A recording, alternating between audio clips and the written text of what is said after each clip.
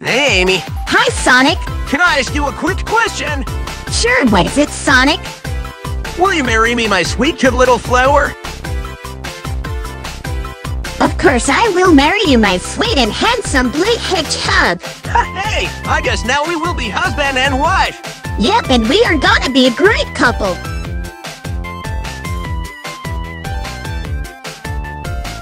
Sonic and Amy are getting married. I should tell everyone about this. Also, I have to admit that Amy is right. They are gonna be a great couple indeed.